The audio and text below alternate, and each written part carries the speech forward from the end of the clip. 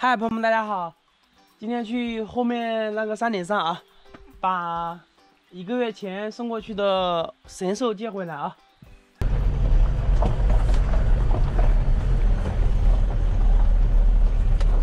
这石头是特别坚硬的，很容易划破轮胎的。每次来这里都是要纠结半天，要不要开车上来。那已经到山顶了啊，呃，还要沿着这条小路上去。刚刚跟我姑婆打电话了啊，她不在家，叫我自己把这个小羊牵回去就可以了。养了很多鸡呀，这么多，不是还认不认识？哎，这只羊，我一眼就认出来了，咩咩，咩咩。你看这只羊对我说的话还是有反应的啊，其他羊就一脸懵逼看着我。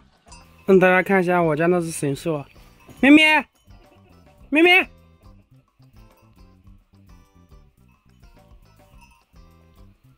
这一只就是我家的神兽，你看着我啊，过去过去过去过去。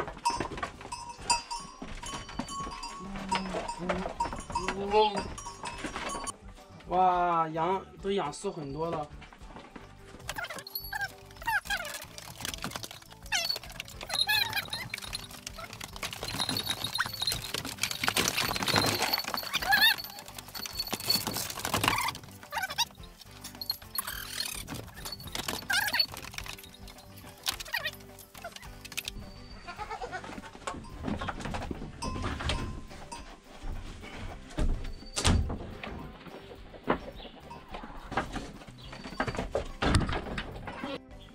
嗯，不肯回去的，走回去，回养殖场去，这这回养殖场去，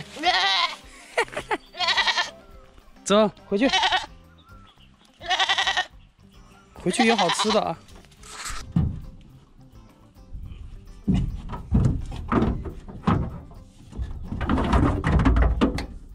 就这样子绑着啊，这个是为了防止它跳车。